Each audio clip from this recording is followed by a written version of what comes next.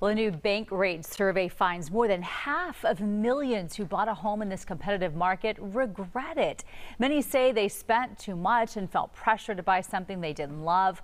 For more on avoiding this buyer's remorse, we bring in Jennifer Wauhob, HAR Chair Elect. Good morning to you. We love having you guys come in from HAR because you have so much information to share with us. How can you avoid having buyer's remorse in this hot housing market? Well, right now, the advice that we're giving to buyers is you really need to make a list of your top priorities, things that you want in a home. There's not a lot of inventory right now. You might have to compromise on a few things, but there are certain things if schools are your top priority, if the neighborhood really matters, do you really want that in home office? Pick your top items. And if you can find a home that checks those top four to five boxes, then the odds are you won't have buyer's remorse later on. Oh, that is good to know. Now, what about those who say, you know what, I really overspent? How can you avoid that? a lot of people tend to just focus on sales price when they're making an offer. And we like to tell our clients there are a lot of ways that you can make your offer more attractive without necessarily just raising the price up and up and up. There are closing dates that might matter to the seller. There are contingencies. You could offer the seller a lease back. There are things in there that can make your offer more competitive without necessarily just spending more money. Well, when you finally pick out what you think might be your dream home, how important is that home inspection?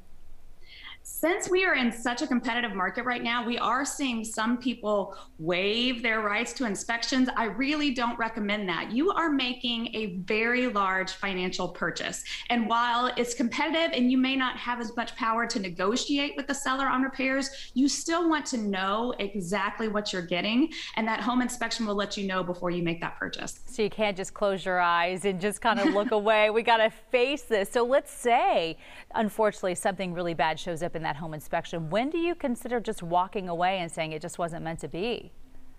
You know, every home is going to need some repairs, but what we are usually looking for are major structural or safety issues. If there are th- those come up in the inspection report or items that are going to cost a lot of money to fix, that might be when you want to consider moving on to another house.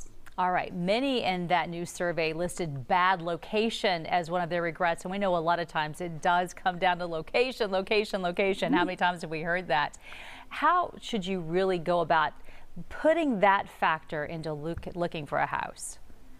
Look, there are a lot of things you can change about a house. There are whole TV networks, you know, dedicated to showing you can fix paint and fixtures and flooring, but one thing you can never change about a home is its location. So really take that into consideration whenever you're making your purchase and make sure you are in an area you want to be in. A lot of the other stuff can be changed later on. All right, so let's talk about any advice you might be able to share with our viewers for people who may have a limited budget but need to buy a home right now. This can be tough right now because we're seeing people coming from out of state, you know, handing over cash. It can be hard to really get the home that you want because of the competition right now. Yes, and that's why I really recommend working with a realtor who can help you navigate this very competitive market. But some of my tips would be first of all, don't look at homes that are at the very top of your budget. Leave yourself a little bit of room because we are seeing homes sell for over asking price. Leave yourself some cushion so if you need to go up a little bit, then you can. And then I also have been letting people know there are programs out there your realtor can tell you about that can help you. Um, some of them will give you a loan up front so you can actually make a cash offer on a home, which makes your offer really competitive. So get with your realtor and help let them give you the tips and tricks to help you get a home in this very hot market. Oh, yes. Now, let's, let's try to end this on a positive note. We talked about half of the people being pretty upset and have buyer's remorse. How about the other half? Are they pretty thrilled about what they ended up with from what you're hearing? Exactly. Right now, especially when it, we're in a multiple offer situation, when our buyers get that home, they are ecstatic. And I still like to remind people I know it's crazy and competitive right now, but a home is a great long term financial asset. If you hold on to it for several years, you are hopefully going to make money on that on that purchase one day. And it's where you live, it's where you get to come home to every night. So we want to help you get in a home that you love, and hopefully in the end, it's going to work out well for you. That sounds reassuring as well as welcoming, Jennifer. Thank you for taking time today. You're always such a great expert from HAR. Good to talk to you again. Thanks.